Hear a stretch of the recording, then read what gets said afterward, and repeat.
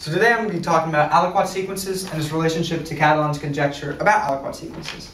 So the first question I want to answer is, what is an aliquot sequence?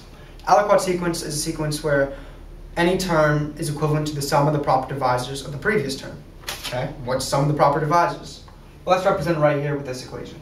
The sum of the proper divisors of an integer n is equivalent to the sum of all the divisors of n minus n.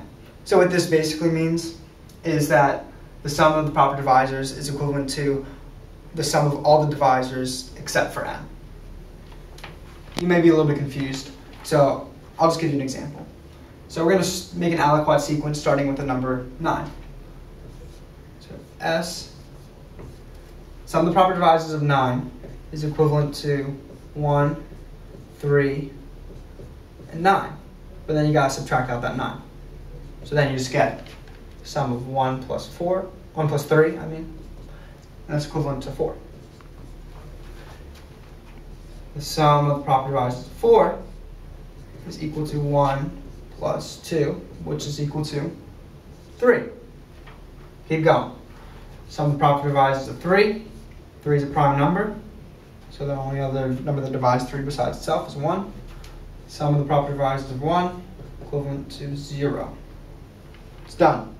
Let me just write that out real quick for you. So this aliquot sequence is 9, 4, 3, 1, 0. Okay, let's get back to Catalan's conjecture. Catalan in 1888 basically said that these aliquot sequences are going to end with basically four different, one of four types of numbers. Prime, perfect, amicable, and sociable. I'll explain those all in a minute. Let me get back to the example I just said. I actually just provided an example where the sequence ended with a prime number. Three. Once a sequence gets down to a prime number, the next number in the sequence is going to be 1, and the next one's going to be 0, because the only other number that divides a prime number is 1, and then the sum of the proper divisors of 1 is going to be 0. So this was actually an example where an aliquot sequence ends in a prime. Okay, let's go to perfect numbers. What's a perfect number? Perfect number is basically when the sum of the proper divisors is equivalent to the number. Quick example, 6.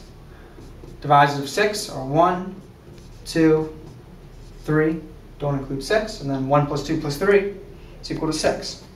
All right, now let's apply that to an aliquot sequence. Let's start with, um, ooh, I don't know why I just did that, 25.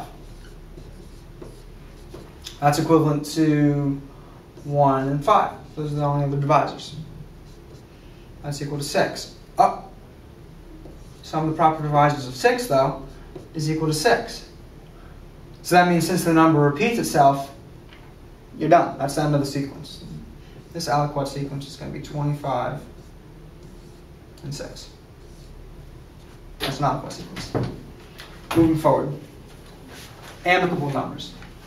So an amicable number is any number where the sum of the proper divisors of that, that number is equal to another integer, but the sum of the proper divisors of that second integer is equal to the first integer. Interesting. Let's provide an example. Um, I believe the smallest amicable number is 220, and I'm not going to write out all the divisors because that would take a long time. Um, so you just have to trust me that this is equivalent to 284. And then the sum of the proper divisors of 284 is equal to 220. Pretty cool. So this would be 220 and 284 because this re repeats itself, so you know that the aliquot sequence ends there. And just as a note, um, this doesn't necessarily have to start with an amicable number to end in an amicable number. Just as a quick example, if you started with 562, there we go. That's not 5, 5, 562. Then the sum of the proper divisors 562 is 284. And you have 220. You know that the sum of the proper divisors 220 is 284, so you know it's done there. And concept, and this is a side note that I would like to tell you about these am am amicable numbers that pertains to this topic is abundant and deficient numbers. An abundant number is basically when the sum of the proper divisors is greater than the original number. And then a deficient number is when the sum of the proper divisors is less than the original number. And so for amicable number, for an amicable pair, one of those has to be abundant and one of them has to be deficient. For example, here, the abundant number would be 220 because the sum of the proper divisors is greater than 220. The deficient number would be 284. The sum of the proper divisors of 284 is less than 284. Pretty cool concept. Let's build on this with sociable numbers.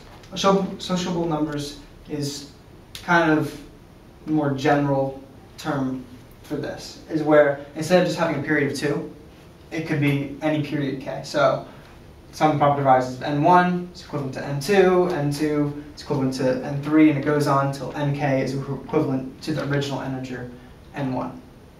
And one thing I didn't mention before, the most common way for these um, aliquot sequences to end are with primes, and then it gets rarer as it goes further. So the next most common is perfect, then amicable, then sociable. Um, another thing I didn't mention before was Catalan's conjecture actually has not been proven, nor disproven. So I just kind of wanted to tell you an interesting fact about that. Lehmer 5.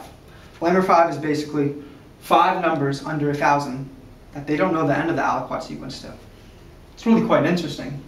And that's just due to the fact that as you get to higher and higher numbers, it's harder to find the divisor, so it's harder to get the next term in the aliquot sequence. So they don't really know if it goes on to infinity or if it just goes to some really high number before converging to either a prime, perfect, amicable, or sociable number.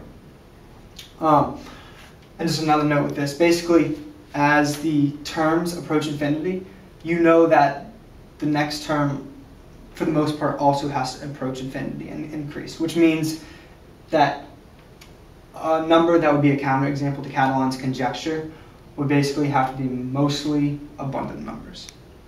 But, like I said before, Catalan's conjecture is still open to this day.